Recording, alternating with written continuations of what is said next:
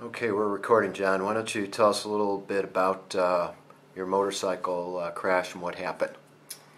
Okay, I was uh, going down Hatchery Road, uh, approximately about 30 miles an hour, and uh, uh, someone pulled out on the right side of me, pulled out in front of me, and I took evasive action and um, locked the brakes up, and then the bike went down, and then I hit him in the front end. Were you injured in this motorcycle crash? Uh, yes, I was. And did you attempt to uh, negotiate a settlement with the driver's insurance company? Yes, I did. Tell us about what happened and why you had to find an attorney.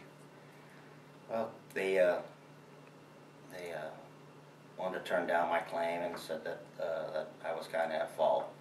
So then I contacted uh, Craig Simon. And what happened once you contacted uh, Mr. Simon? What did his office do for you? Uh, we had to do a deposition and uh, come in and talk to the their attorney and uh, discuss that. Did the insurance company continue to deny the claim th- throughout the process when uh, Craig Simon filed the lawsuit? No, they finally uh, agreed to pay. But it wasn't until uh, the lawsuit was filed and you had to give deposition and go through all the litigation before they were willing to make you a settlement offer. Right, correct. That's what. And uh, what about uh, your insurance company? Uh, since the other driver didn't have adequate coverage, what happened next? My insurance covered. I had uh, uh, what's it called? Uh, uninsured and And- underinsured, and they covered it.